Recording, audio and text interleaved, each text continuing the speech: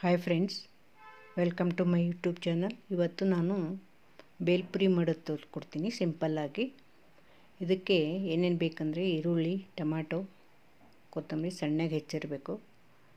ಅದು ಕಳ್ಳೆಪುರಿ ಮೇಲೆಲ್ಲ ಹಾಕಿ, ಮೇಲೆ ಒಂದು ಬೌಲಲ್ಲಿ ಕಳ್ಳೆಪುರಿ ತೊಗೊಂಡು ಅದ್ರ ಮೇಲೆ ಹಾಕಿ ಚಿಲ್ಲಿ ಪೌಡರ್ ಹಾಕಬೇಕು.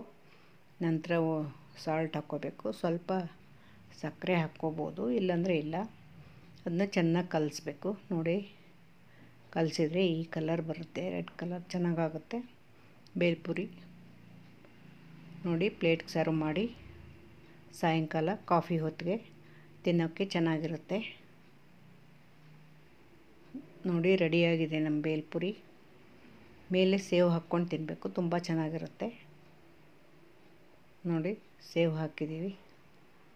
ತುಂಬ ಟೇಸ್ಟಿಯಾಗಿ ಬರುತ್ತೆ. ನೀವು ಒಂದು ಸಲ ಮಾಡಿ ನೋಡಿ. ನನ್ನ ಚಾನಲ್ನ ಸಬ್ಸ್ಕ್ರೈಬ್ ಮಾಡಿ. Thank you.